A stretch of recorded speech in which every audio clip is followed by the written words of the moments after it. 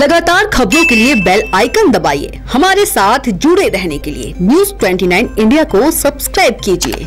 नमस्कार, स्वागत है आपका न्यूज़ 29 इंडिया में। मैं हूँ आपके साथ कविता पांडे।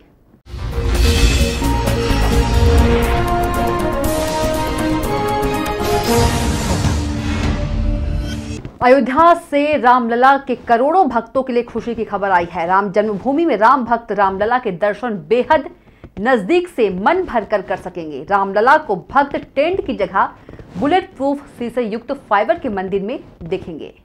अब रामलला 25 मार्च को गर्भगृह से निकलकर राम जन्मभूमि परिसर में मानस भवन के पास मंदिर में शिफ्ट होंगे।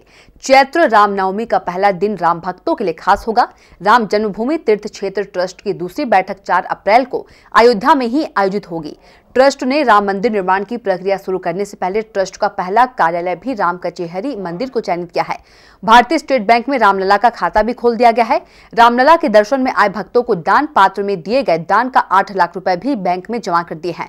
यह रुपए विगत चौदह दिन में चढ़ावे में आए हैं। अभी दान के उन रुपयों को स्वीकार नहीं किया जा रहा है, जो दानियों द्वारा मंदिर निर्माण में दिया जाएगा। उसके लिए अलग से खाते खोले जाएँगे, जो कानूनन रूप से आयकर से मुक्त होंगे। राम जन्मभूमि तीर्थ क्षेत्र ट्रस्ट के महामंत्री चंपत राय, ट्रस्टी डॉक्टर अनिल मिश्र, जिलाधिकारी अनुज झा ने रामलला परिसर का जायजा लिया है। हालाँकि रामलला के मंदिर निर्माण की तिथि अभी नहीं बताई जा सकती है। राम मंदिर निर्माण से पहले कई सारे कार्य पूरे करने हैं। अयोध्या से मोहम्मद आलम की रिपोर्ट।